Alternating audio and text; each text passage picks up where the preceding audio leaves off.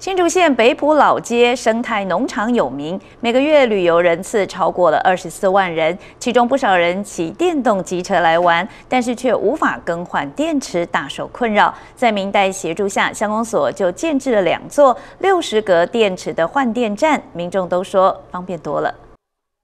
打开机车坐垫，骑士拿出电池等待更换。到北埔乡观光的旅游人次，一个月就超过二十四万人，骑乘电动机车的人也不少，但长期却没有换电站。在我们北埔哦设置我们的第一个换电站。那因为北埔在呃整个台湾来说也算是一个非常重要的一个观光区，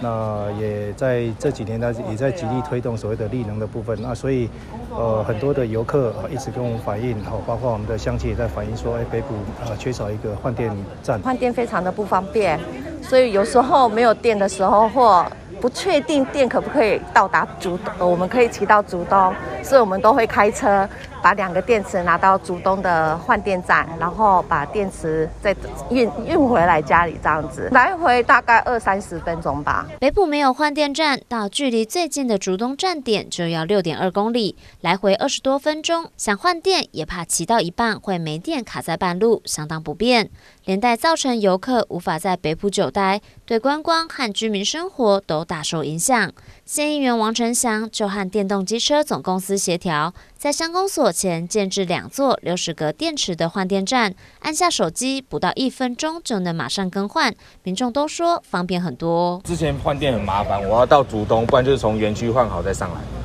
这是一件有点麻烦的事情，所以很高兴这边北埔站已经开了。最重要，也感谢乡公所这边呢。马上帮我们腾出一个可使用的空间，让我们建置这个充电站。那相信在今天的启用仪式之后，对地方的乡亲以及游客后都能够更加的便利。偏乡设置换电站，能提升民众改骑电动车的意愿，减少废气排放，环保又节能。未来也要继续推动增点，提升观光便利和生活品质。